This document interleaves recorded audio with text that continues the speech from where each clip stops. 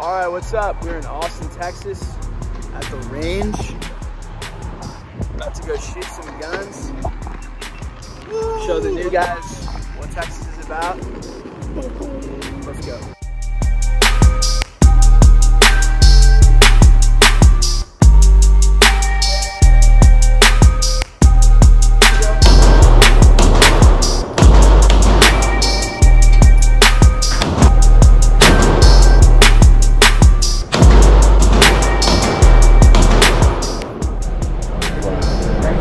Powerful.